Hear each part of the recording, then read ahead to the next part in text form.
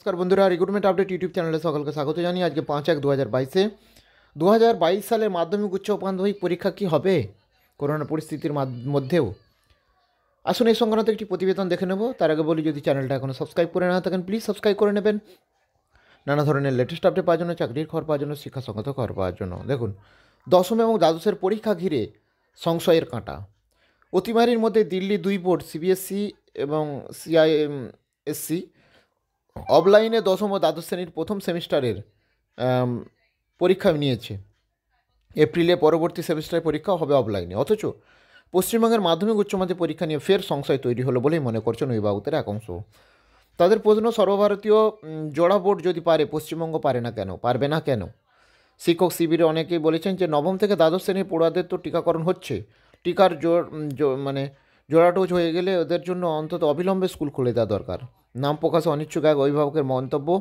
এখন সরকারি মানে সরকারি সাহায্যপ্রাপ্ত সরকারি পোষিত স্কুলের কার্যত রেশনের দোকান হয়ে গিয়েছে। করোনার জন্য গত দেড় বছর ধরে ক্লাস বন্ধ থাকা অবস্থায় স্কুলে শুধু মিড ডে মিল সামগ্রী, স্কুলে পোশাক, সাইকেল বিতরণ করা হয়েছে। পড়া- পড়াশোনা বলতে অ্যাক্টিভিটি টাস্ক বা গৃহপাঠ দেওয়া হয়েছে অভিভাবকদের। অভিভাবকদের প্রশ্ন, যদি রেস্তোরাঁ পানশালা খুলে যায় রাখা যায়, তাহলে পঞ্চাশ শতাংশ পড়ুয়া নিয়ে অন্তত নব- নবম থেকে দ্বাদশ শ্রেণির ছাত্রছাত্রীদের জন্য স্কুল কি চালু রাখা যেত না? স্কুলগুলো অফলাইনে ক্লাসের পরিকাঠামো তৈরি করতে পেরেছে কি? করোনা দীর্ঘস্থায়ী প্রকোপ বিষয়টি বিবেচনা কর- গত দেড় বছরে স্কুলগুলোতে অনলাইনে পড়াশোনার মতো পরিকাঠামো তৈরি করা হলো না কেন? শিক্ষক শিক্ষাদের এক অংশ স্বীকার করেছেন যে শহর অঞ্চলে কিছু স্কুলে অফলাইনে ক্লাস হলেও গ্রাম অঞ্চলে স্কুলে অনলাইনে ক্লাসের পরিকাঠামো নেই। সরি, অনলাইনে ক্লাস হলেও আর কি। মাধ্যমিক শিক্ষক শিক্ষাকর্মী সাধারণ সম্পাদক বিশ্বজিৎ মিত্র বলেন যে অনলাইন ক্লাসের উপর গুরুত্ব দেওয়ার কথা বলছে শিক্ষা দপ্তর কিন্তু অনলাইন ক্লাস কীভাবে নেওয়া হবে গত দেড় বছর শিক্ষা দপ্তর থেকে আর তার কোনো রূপরেখা দিতে পারেনি স্কুলে ওয়াইফাই পরিকাঠামো তৈরি করতে পারলে শিক্ষকরা স্কুলে এসেও অনলাইন ক্লাস নিতে পারতেন অনলাইন ক্লাস হচ্ছে না, অফলাইনেও ক্লাস বন্ধ, সব মিলিয়ে করোনাকালে আর্থিকভাবে দুর্বল পড়ুয়ারা ক্রমশই পিছিয়ে পড়ছে।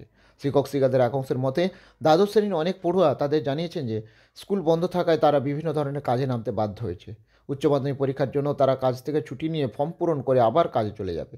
যদি উচ্চ মাধ্যমিক পরীক্ষা হয়, তাহলে ছুটি নিয়ে পরীক্ষা দেবে। আর গতবারের মতো পরীক্ষা যদি না হয়, তাহলে তো গতবার যেমন একশো শতাংশ পরীক্ষা পাস কর পরীক্ষার্থী পাস করে গিয়েছিল, এবার তারাও সেইভাবে পাস করবে।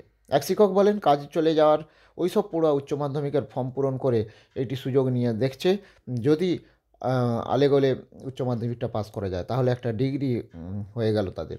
পশ্চিমবঙ্গের প্রধান শিক্ষক সমিতির সাধারণ সম্পাদক কৃষ্ণাংশু মিশ্র বলেন পড়াশোনা পরীক্ষার নমুনা যদি হয়, তাহলে কজন আর এই ধরনের সরকারি স্কুলে পড়তে চাইবে? অভিভাবকরা তো ছেলেমেয়েদের বেসরকারি স্কুলেই দেবেন। রেস্তোরাঁ, পানশালা খুলে রাখা গেলে নবম থেকে দ্বাদশ কি খুলে রাখা যেত না? তাহলে দেখলেন যে নবম থেকে দ্বাদশ, এই মানে দশম এবং দ্বাদশের, অর্থাৎ মাধ্যমিক উচ্চ মাধ্যমিক পরীক্ষা নিয়ে সংশয় তৈরি হয়েছে অভিভাবকদের মধ্যে শিক্ষকদের মধ্যে। এবার কি আদৌ পরীক্ষা হবে? আপনার কি মত? কমেন্টে জানান যে এই পরিস্থিতিতে কি পরীক্ষা নেওয়া উচিত হবে বা পরীক্ষা কি আদৌ হবে? সরকার কোন দিকে করবে তো আপনার মূল্যবান হচ্ছে মতামতের জন্য অপেক্ষায় রইলাম। সঙ্গে থাকবেন এবং চ্যানেলটা সাবস্ক্রাইব করে নেবেন। ধন্যবাদ।